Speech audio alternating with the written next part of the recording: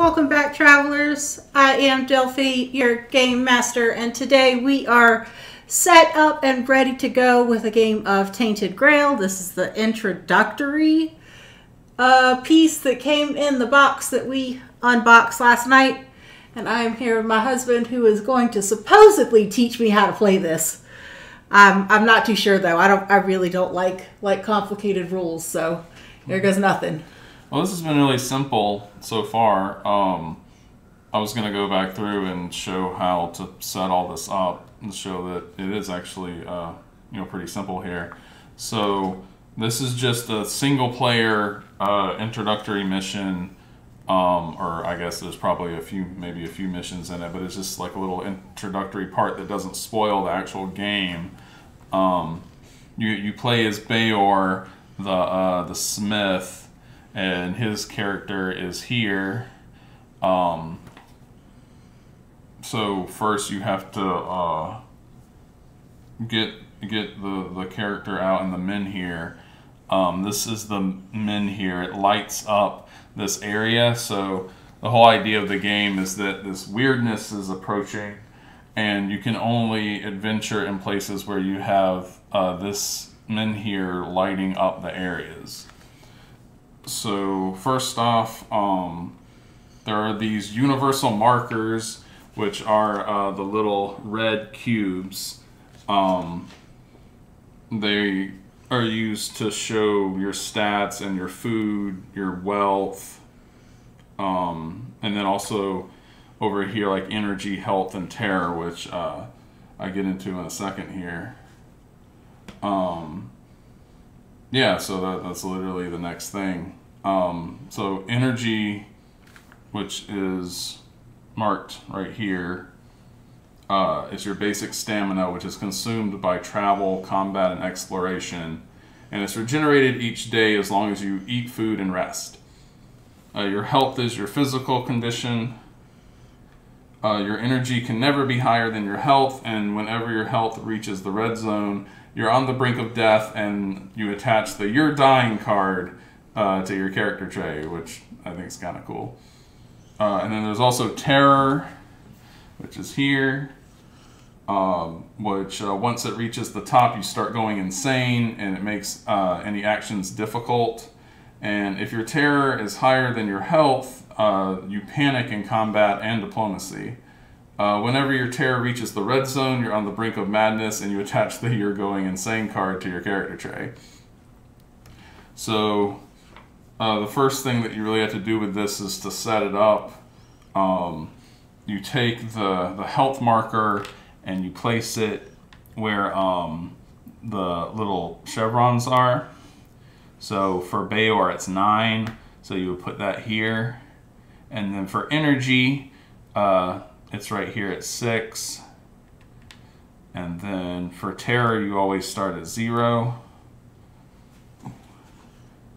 And so then you also have to set up your character stats, which this is sort of neat too.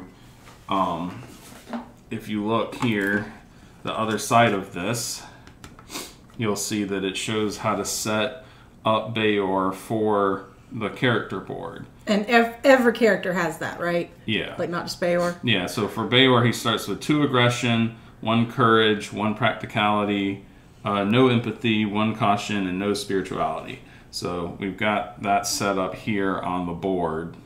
And then he also starts with three food and one wealth. So we've also got that. And then as you see, it says play with this side down. So once you set it up, you just flip it. And this is, you play like this and it shows um, his ability and then his um, the the negative trait that he has. That everyone has um, a negative trait. So what's his negative trait? His negative trait is festering wound. Um, you lose a health every time you become exhausted.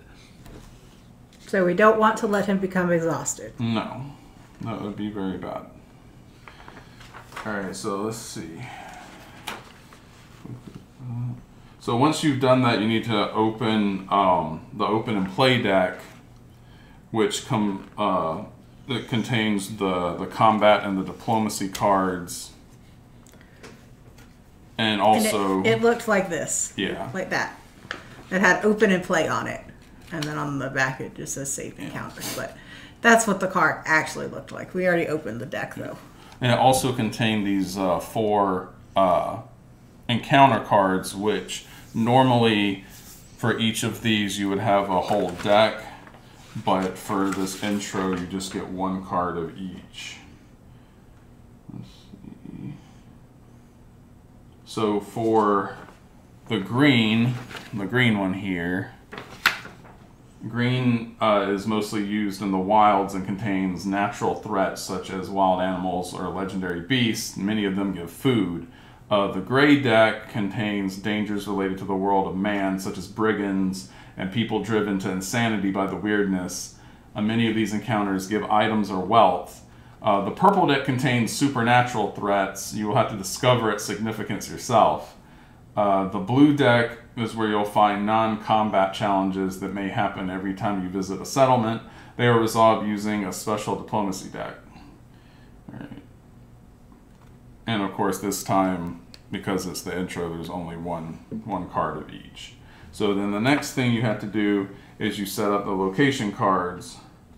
Um, so for this uh, intro, you only use uh, the locations numbered 101 to 107, but it said to not do 106 and 107 yet, so we've got 101 through 105 set up.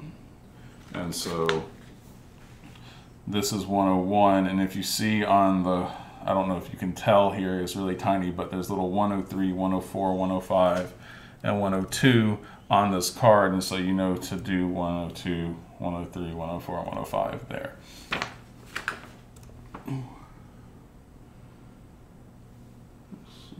Then there's also um, the help cards and well, there's the rule book, but we haven't really gotten to that yet.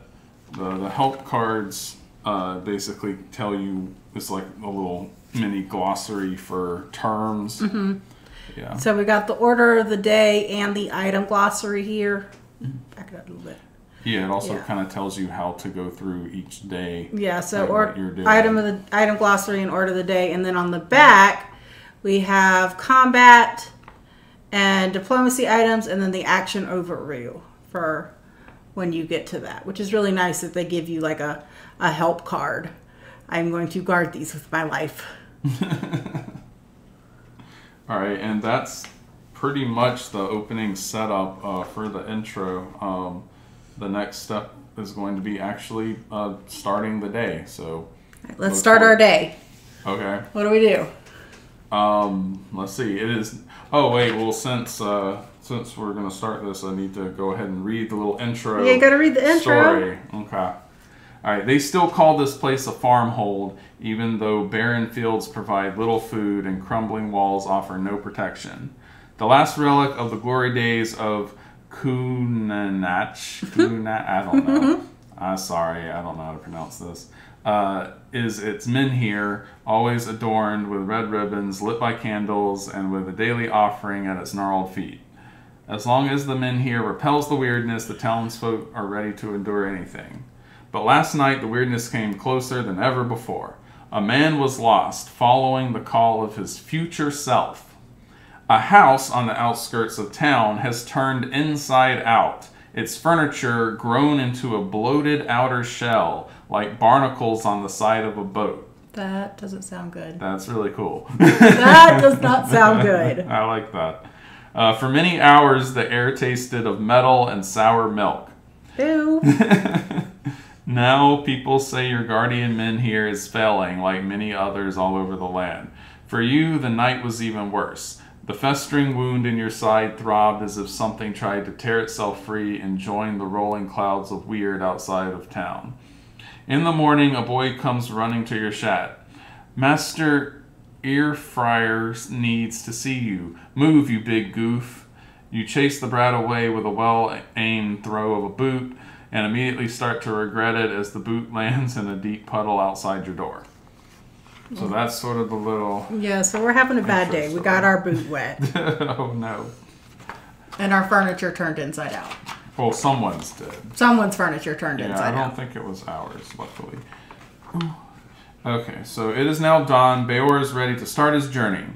Uh, perform your first start of the day routine following the order listed on the green help card. Yeah, so that's what our order of the day card is for. Yeah, I got my order of the day card. Okay. The card asks you to remove expired menhirs and locations out of the menhir range. The only menhir on the map has a dial, it's not expired, and all revealed locations are adjacent to this menhir, You don't discard them. Now reduce the menhir dial by one. It should show number seven. Okay, I'm the help card also mentions time tokens, but there are none in play now.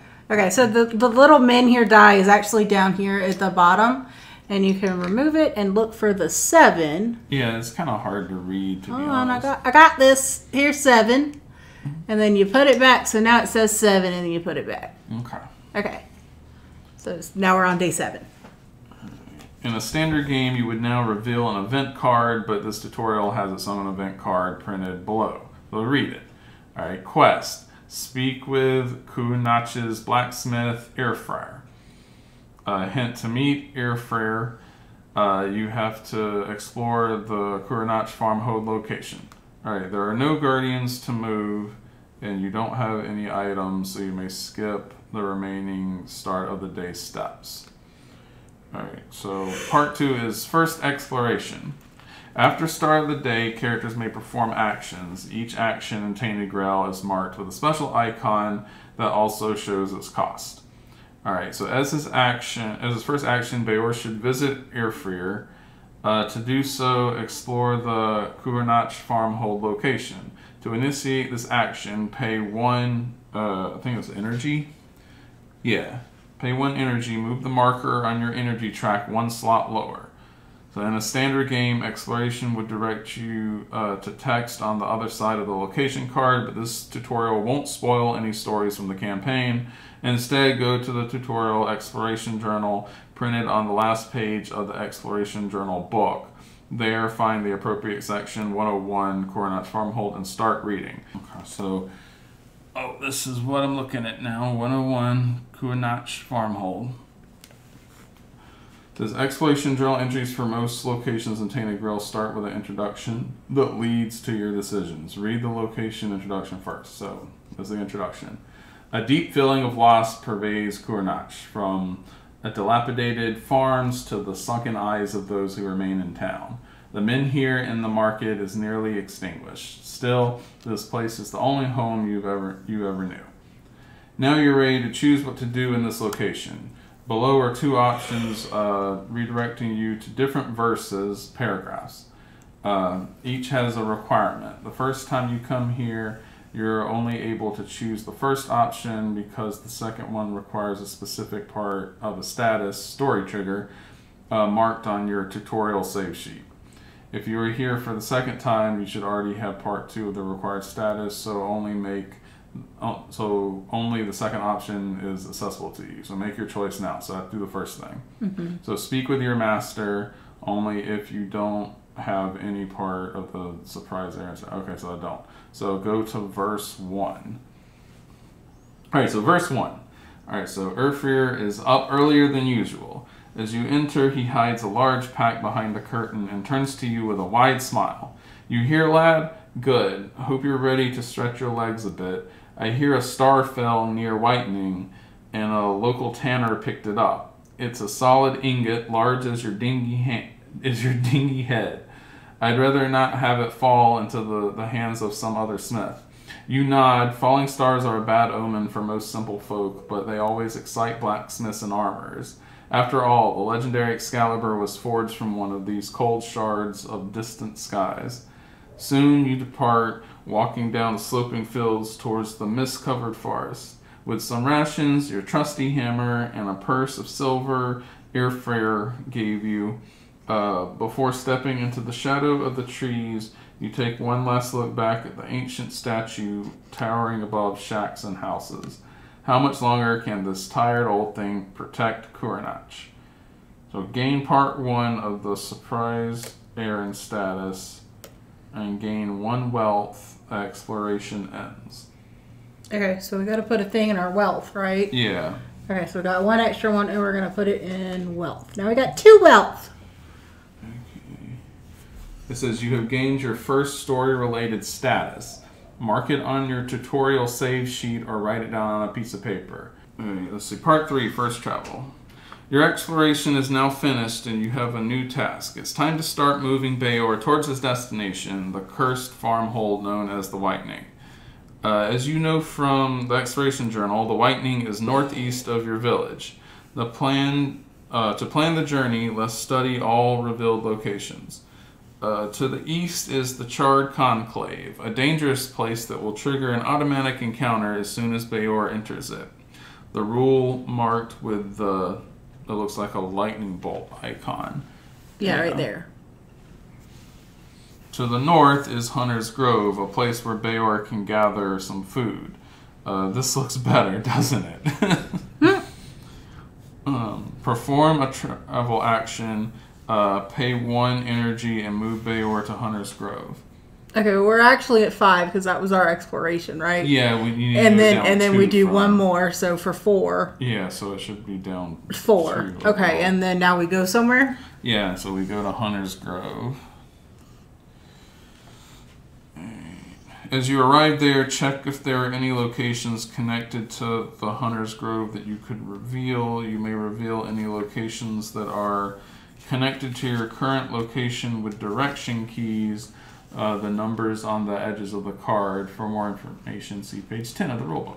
Okay, so I can I can put in our two extra cards now, right? Yeah, I think so. Okay, so then this one goes here because it's got a 102 and a 102. It matches. And then, oh, wait, no, it doesn't. It goes here. Hold on. Oh, where does Which it one are go? you on? 107? No, 107 is here. You look, is that. And the 106 is there. Yeah. Okay.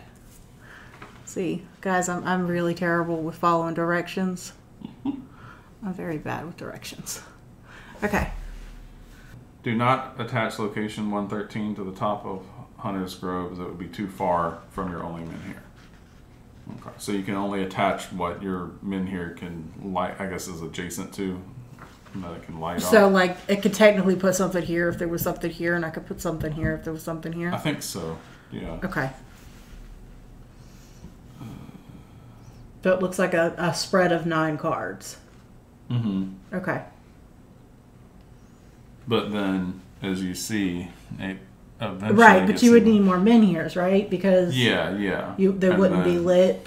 Right. Okay. And then, as far as like the space goes, we might have to like take away cards and like, okay, now we're here. Not exactly sure how that'll work.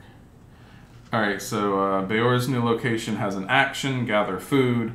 Uh, food is an important resource that you consume at the end of each day, so gathering more won't hurt. Uh, to activate the location action, pay its cost of two energy. Uh, Beor gains two food. Uh, take two markers and place them in the food slot of your character tray. The action also asks you to draw one green encounter. Alright, so take the green encounter card you placed near the map during the setup, place it face up so that you have plenty of free space to the right of the encounter card. Okay, but we need two more of these things for food. Oh, are we out? Yeah, we don't have any more. I can get some more. Alright, it was two more. Yeah, two more for the food. Okay. But we don't have all the food. But we're kind of getting low on energy already. And then I'm flipping the green thing, right? Is that what, what it said? Yeah, yeah. Okay. But we also it also said we need a lot of room to the right of it. I got this. Look, I'm smart. Okay. Okay.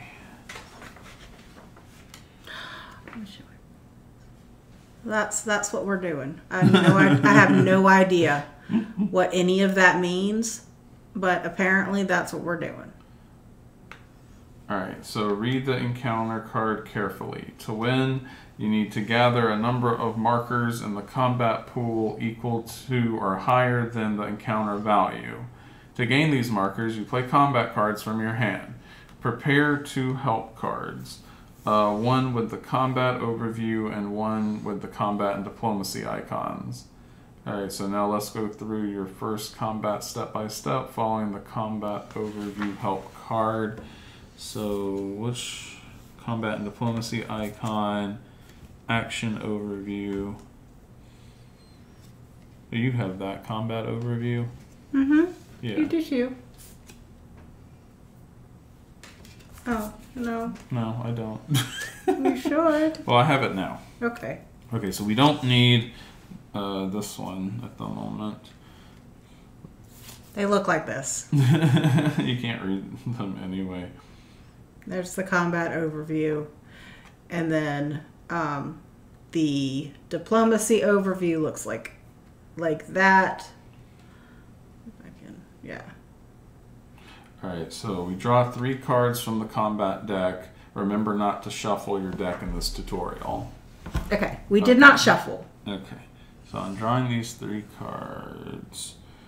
So where am I putting them so we can see?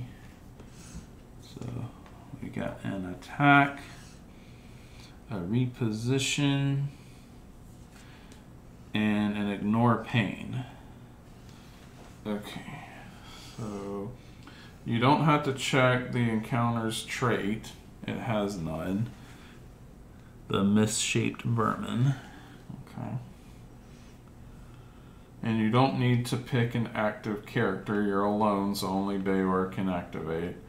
Uh, you can only you can also ignore uh, the delayed abilities step. There aren't any abilities in play yet.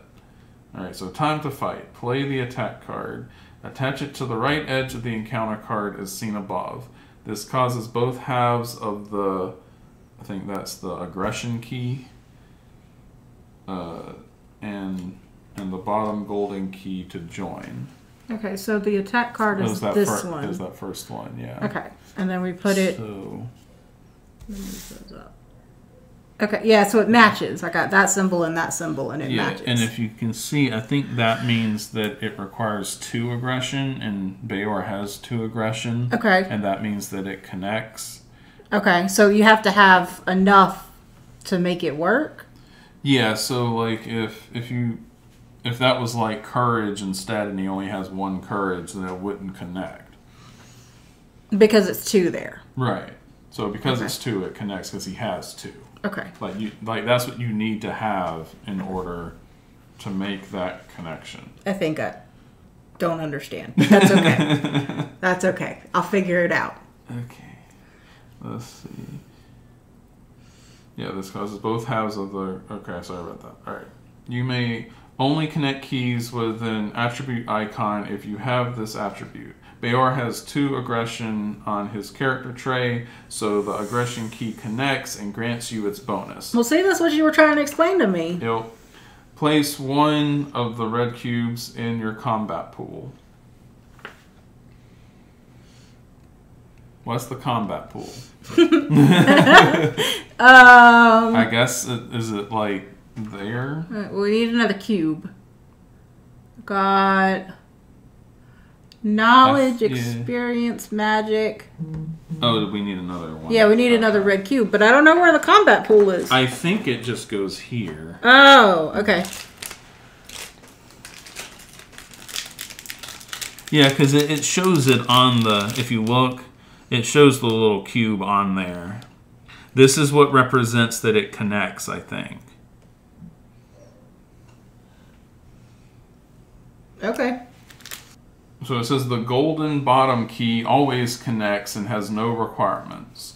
Place one more of those in your combat pool. Okay, so we place one yeah, more. put in there. another one there. Yeah. Oh, is that what the little red thing is? Yeah. Oh, guys, I'm smart. I am smart. There you go. Oh, Alright, let's see. Now let's check the text of the attack card. It has two abilities. The first ability causes all enemy attacks to deal one more, uh, whatever that. What does that symbol mean? Let's see. Do I have the. Checking our symbols. Yeah. It's like a little. Looks like a poison symbol, kind of. Oh, it just literally means damage. Oh, okay. Alright, so the first ability causes all enemy attacks deal one more damage. Alright, the second ability instructs you to place a time counter on the attack card. Uh, What does that symbol mean? Uh, triggers when the last time token is removed. Okay. The ability itself will be resolved during the next delayed ability step unless you cover it up with another card first. So each turn you may play only one card plus as many additional cards as you can connect using. Uh, now it's giving me all the symbols using their bonus action, it looks like. Yeah, bonus icons. Okay. This means any further cards you play this turn would require you to connect the uh, bonus icon. Okay, so I- that's bonus, yeah. so it's telling me that I have to match these things up with those things. Yeah. Okay, so if I'm looking at the arrows, right, then it would have to be It says um, it says play ignore pain. okay. That's this one. So it would go here. Well, it's well, yeah. Play ignore pain. It contains uh, a bonus icon that connects to the.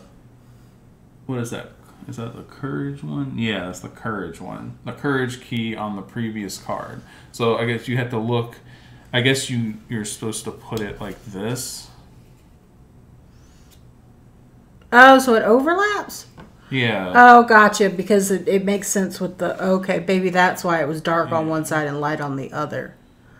Well, see, that's smart when they came up with that for the the art. mm-hmm. How it shows the the different contrast or different saturation. Okay, cool. Okay, well it says um so it contains a bonus that connects to the the courage key on the previous card. Before placing this card, remove the I guess time token from attack. Alright, so it says ignore pain has two other keys. The blue magic key requires one magic to be connected. You do not have any magic at the moment, so you can't connect it. Uh, the free key contains uh, a, bone, a green plus sign bonus icon, so draw one card. Okay. Draw a card. Uh, that's this step. Yeah. Okay. Okay. We got So powerful blow. It looks like Okay. yeah. Yeah, there you go. Okay. Alright, Ignore Pain also contains a text ability, just like Attack's ability. It triggers during the enemy attack step. Alright, uh, you have two cards left in your hand now, but let's not cover the Ignore Pain card for now. Proceed to the next phase. Alright, so a quick victory check shows that Beor didn't win yet. He has two markers in the combat pool out of a required four. Right. Okay. So I got one and two. I read it that down here. Yeah. And where does it show? And up Yeah. there it shows says four. how many you need. Yeah. Okay, so we've got two out of four. Alright. It's time for the enemy attack. In Tainted Grail, each enemy has many different moves depending on the value of the combat pool. Beor currently has two markers in the combat pool. Check the combat table. The attack for zero to two markers deals one damage. To move Beor's health, uh, track one slot down. Okay. So, we move the little red thing down. Okay, so we're getting eaten up by a little rat. Okay. Alright, Uh, that's not all. Beor's Ignore Pain card modifies the enemy attack. It instructs you to add a marker for every point of damage received from the attack, so you can add one uh, marker to the combat pool. Okay. Okay. So because we took an attack, we get to add an attack. Yeah. So we have three now because we took one. All right, gain one for every. Oh, okay, yeah. So would that go here or Combat pools over there. I'll move the whole thing up. Right there. Combat pool. Oh, put every gain. Oh, okay, yeah, I see that. All right, awesome. There you go. Oh. Okay. Let's see. Alright, during the end of turn, you must discard until you have three cards in your hand. You only have two cards in hand, so this doesn't apply. Now, draw one combat card. Alright. we got Battle Cry. Alright, so this is second combat turn. Alright, the next turn begins. You could finish this battle quickly by playing Powerful Blow, but that would mean losing energy as stated on the card. Mm-hmm. Yeah. Okay, yeah, so lose one energy gain. Okay. Let's start uh, with the Battle Cry instead. Uh, its free key contains, uh, what is that, a draw card bonus? The green? Yeah. Yeah. Yeah, which mean yeah, which means you draw one more card. Okay. All right, you have now drawn the perfect card to end this encounter. Oh, we have to actually draw a card. So, because it Yeah, It because says because draw, it says so- draw the card okay with so the green then- thing right there. Okay. Okay, so now we got throw. So you've now drawn the perfect uh, card to end this encounter. Play the throw card. It has the that lightning bolt icon. What was I don't remember what that meant now. Uh, bonus action. Okay, it has the bonus action icon in its uh, aggression key. Additionally, its free key gives you uh, more mark another marker.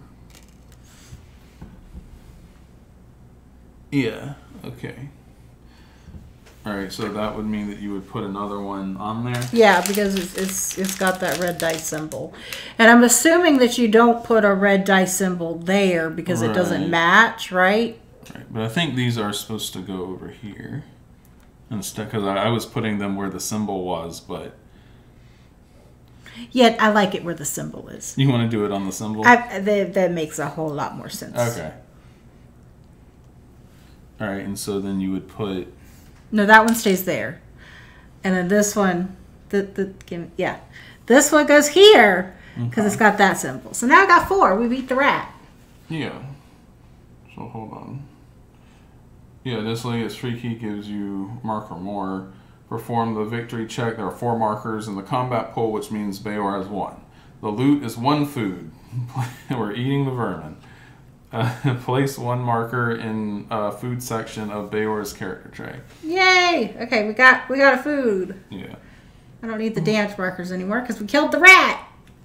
So I get like putting.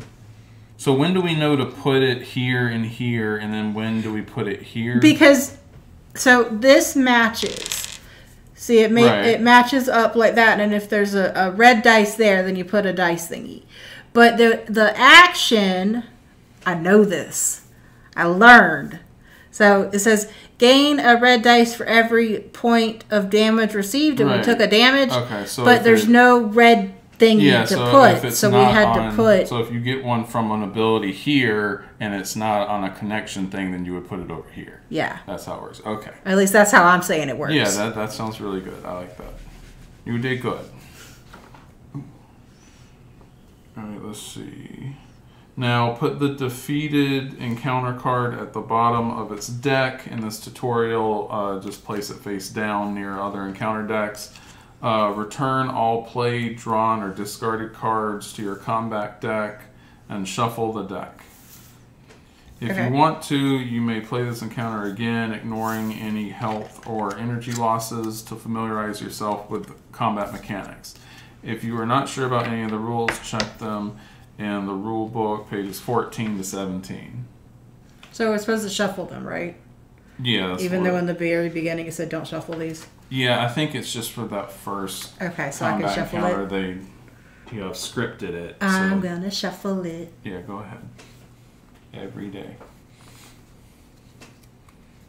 The terrible reference. All right, so we are at uh, ending the day. I dropped a card. Good Hold job. on, guys. I didn't tell you to shuffle it that way. Oh no, I dropped two cards.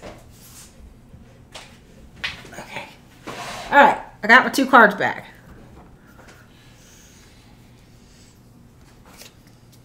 All right, keep reading. Alright, so Beor is wounded and has only two energy left. If you look at the energy track, slots marked as 1 and 0 are red and have the exhausted sign.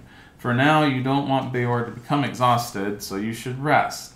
Make a pass action. This will uh, end your in-game day. All right, so rest and eat. Discard one food marker from Beor's tray, and Beor gains uh, one health. Move his health marker uh, one slot up. He doesn't lose any uh, terror, as his terror is already at zero.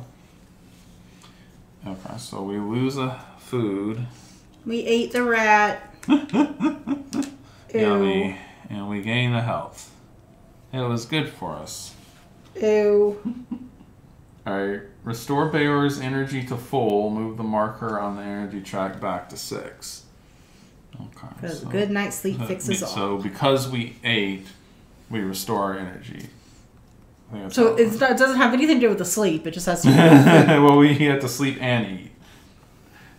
All right, so let's see. You don't have any experience points, so you can't advance your character. You also don't have any upgrade cards to modify your deck with. All right, so let's, let's put this back over here. Uh, you're in a location with the with some symbol. Looks like an eye. Is it talking about this? Oh, I bet this is the dream symbol. Yeah, this symbol right there is talking about. Okay. Yeah, so in a normal game, you would now open the exploration journal of this location and look for the dream. Uh, in this tutorial, read the dream from the tutorial journal instead. Remember to look at the correct section of the tutorial journal. Uh, 102 Hunter's Grove. Dreams contain both story text and rules. Remember to apply this dream's rules, which apparently is lose one energy. Alright, so the new day will begin after I read the dream.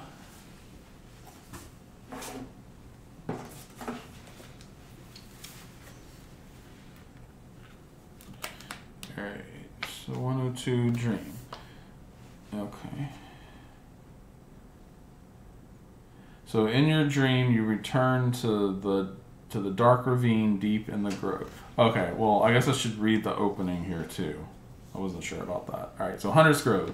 As you walk into the shadow of the Hunter's Grove, your heart beats faster and your wound burns. You you died not far from here two weeks ago, though it took you some time.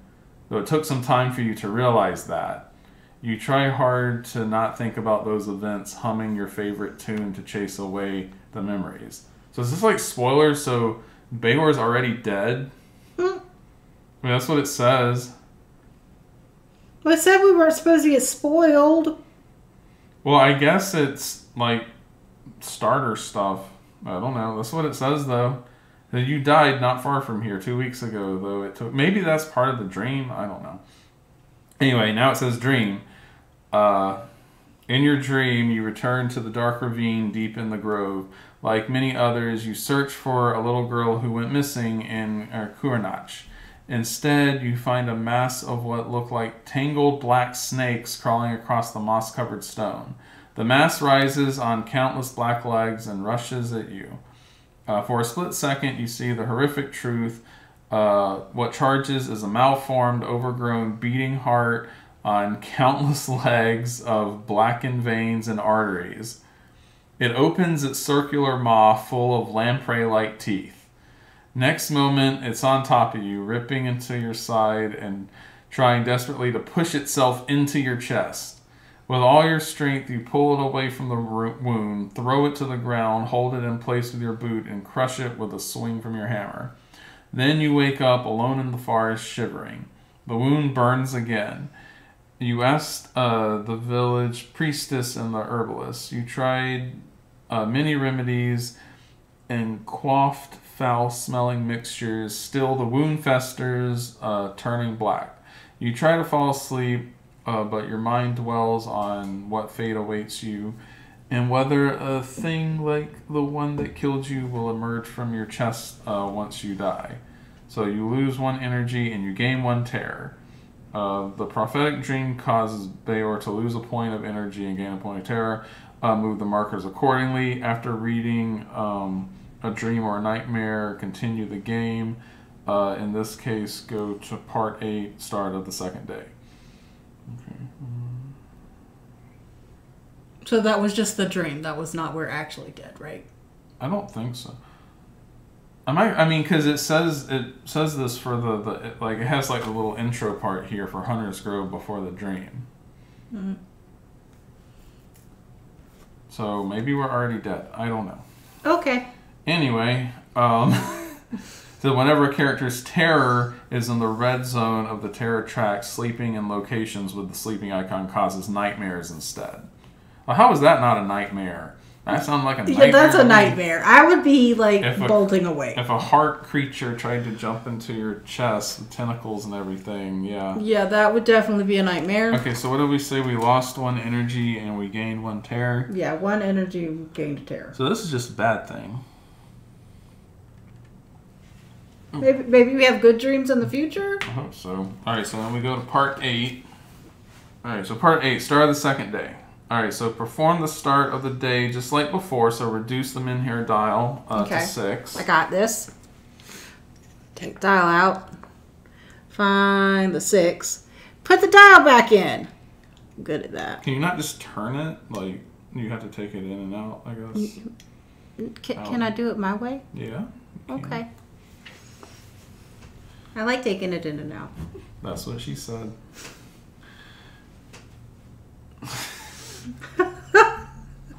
anyway, all right, time to get demonetized.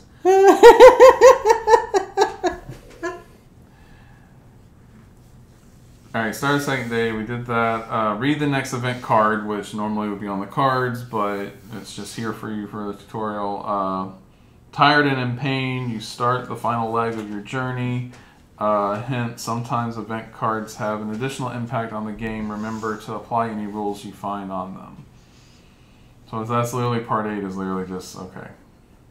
I'm tired and in pain, starting leg of your journey. That's part 8. Alright, so part 9 is entering the whitening. Alright, so travel right to location 107, pay 1 energy, and move Beor to the whitening card. Okay. Alright, no new locations revealed. They would be too far away from Cuanacht's uh, menhir. Alright, and Whitening has uh, that icon that I can't remember what it's called. Uh, bonus action? The little lightning symbol? Yeah, bonus action icon. Yeah. Alright, this is an instant rule you must resolve as soon as you enter the location. Alright, the action instructs you to draw a blue encounter. Unlike your previous encounter, this is a diplomacy challenge. A very inquisitive guard stops you as you enter the location. Place the blue encounter card face up so you have plenty of space to the right of his card. Okay, suspicious guard. That's what it looks like. Okay. All right. So, what what does the suspicious guard want with us? Let's see. Uh, first diplomacy turn. All right, diplomacy encounters are similar to combat encounters. Uh, the main difference is that instead of gathering points in the combat pool, you will engage in a tug of war on the affinity track, visible on the left edge of the encounter card. Uh, diplomatic encounters also don't have a combat table. Instead, they have uh, multiple stages. They may have multiple stages. Uh, to win, you need to push the marker to the top of the affinity track in each stage. Okay, so this thing. Yeah. Okay. Fortunately, this encounter only has one stage. Uh, prepare two help cards, uh, one with uh, diplomacy overview and one with combat and diplomacy icons. All right, so that means to flip that. Okay. Uh, place a marker on the gray slot of the affinity track. It is the starting point. So there.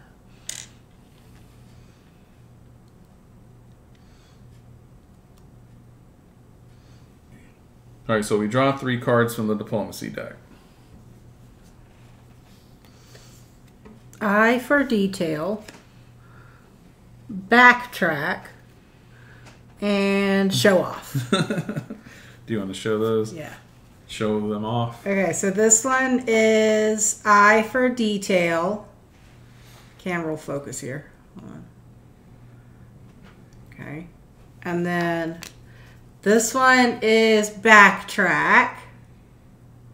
There we go. And this one is show off.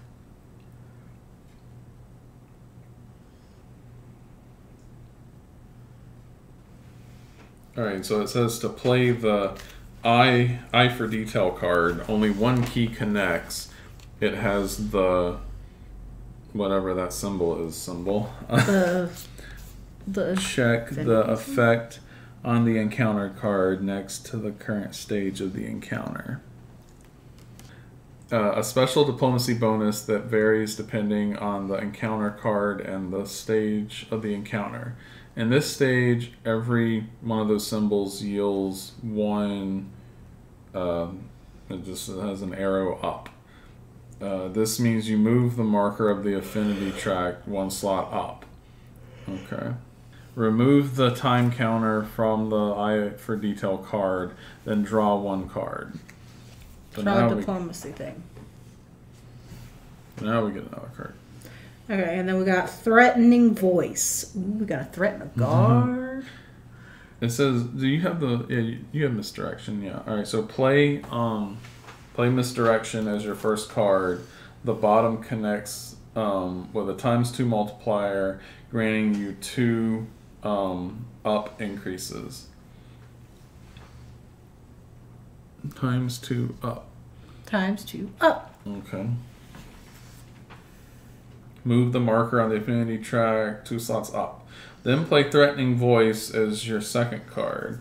The required bonus icon is in the bottom key of this card and connects. Right? Yeah. Okay. And that's where we we have that bonus action. Mm-hmm.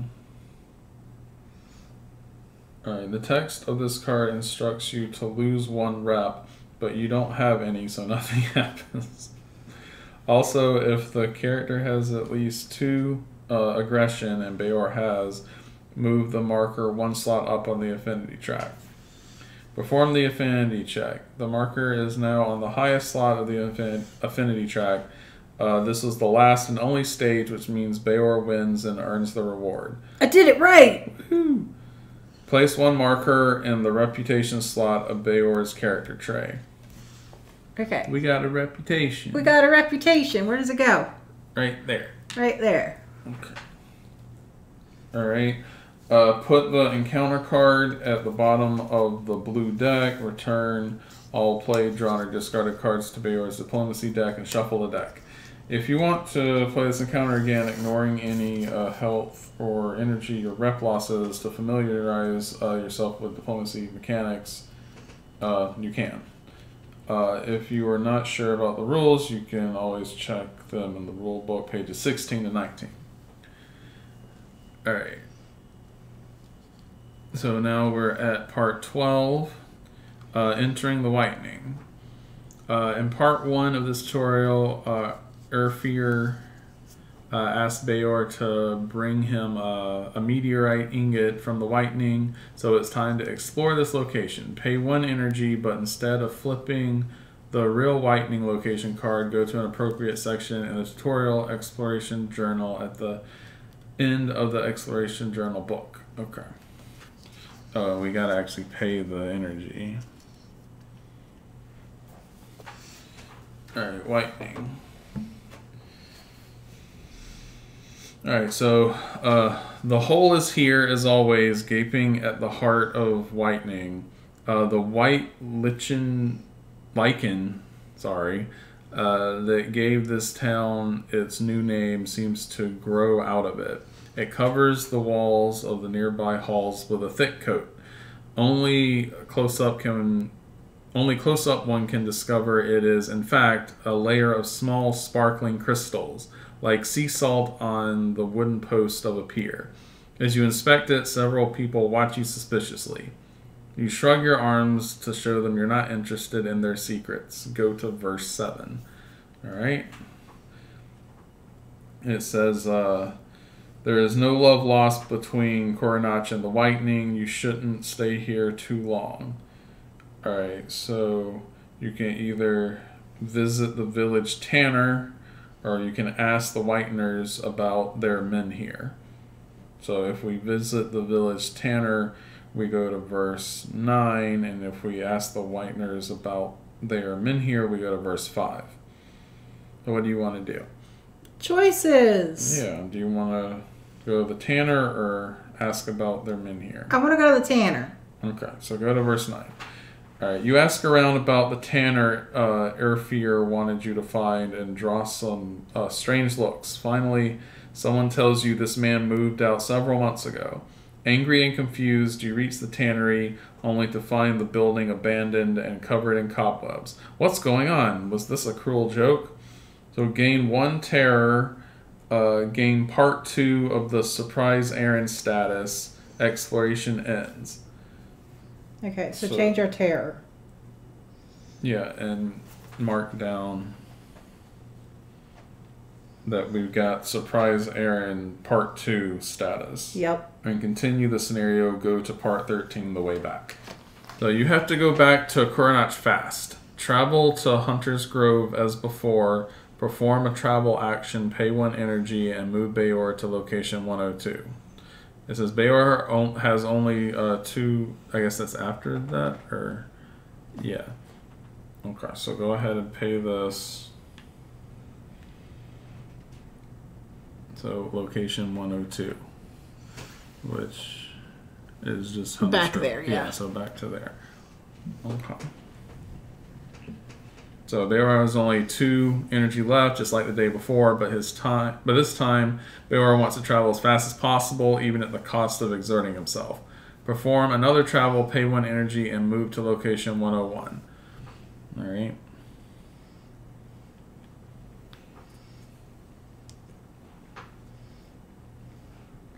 All right, Beor is now back in his hometown, exhausted.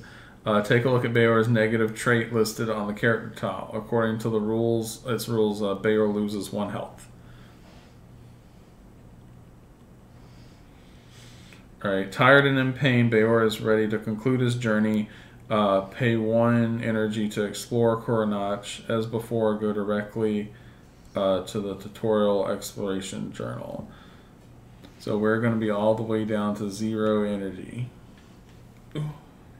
We're so tired. Important. While this tutorial gives players a general grasp of the game, there are many additional rules it does not cover, such as parties and party actions, event cards, character or sorry, chapter setup, legacy locations, uh, encounter traits, and so on. Before playing a full campaign, we encourage you to read the full rule book at least once. Nah.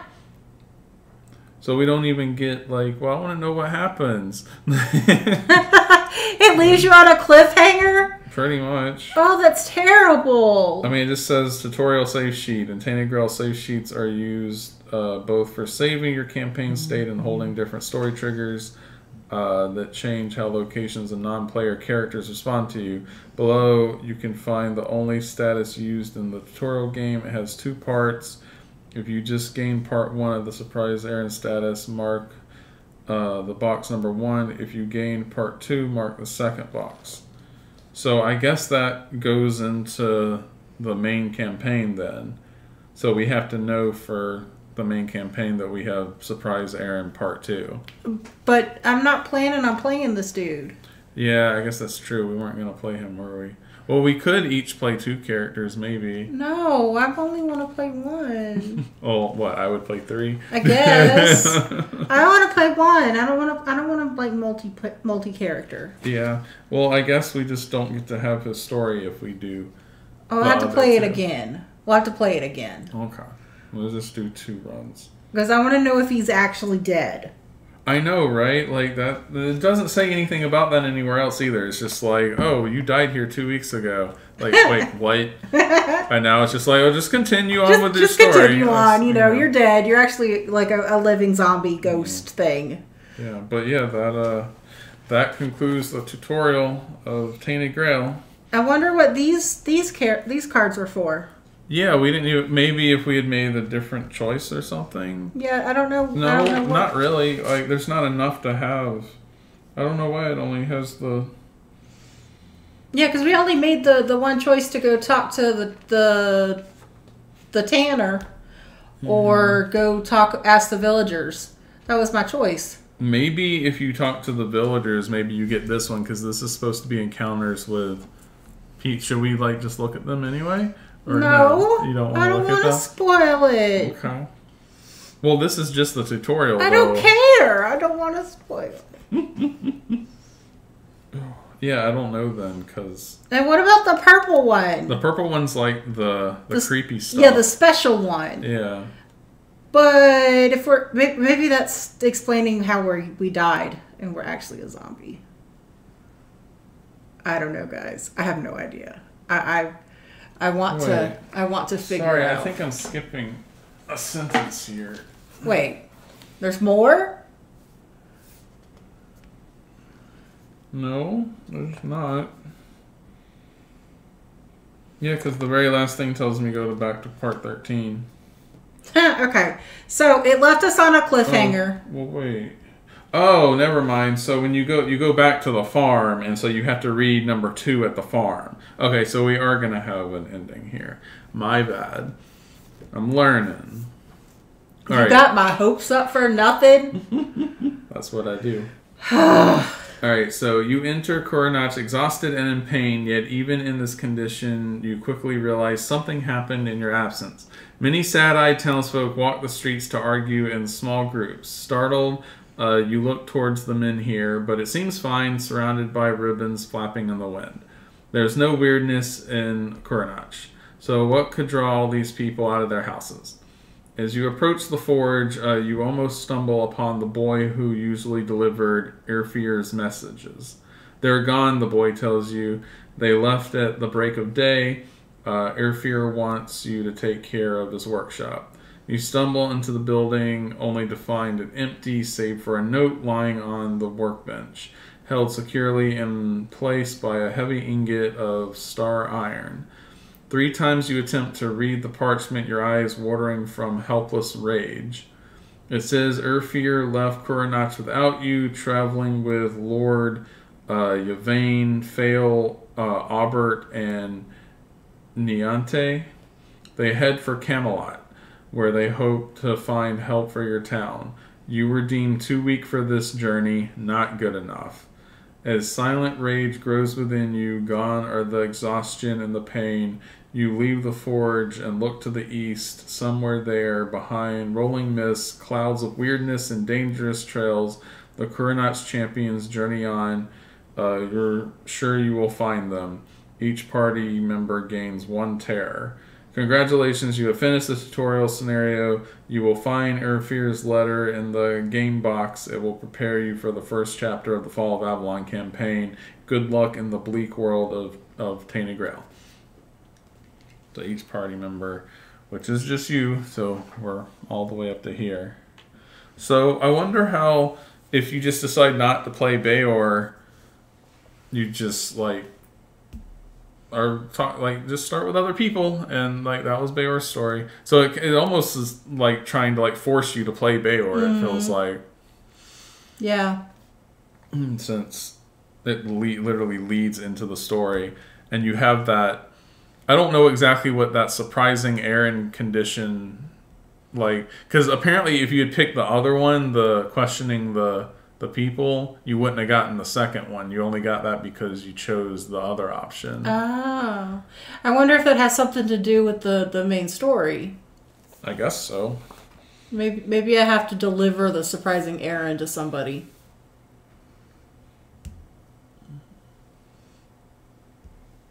But it still kind of leaves us off at a Hmm. cliffhanger. Yeah, it looks like you end up with it either way.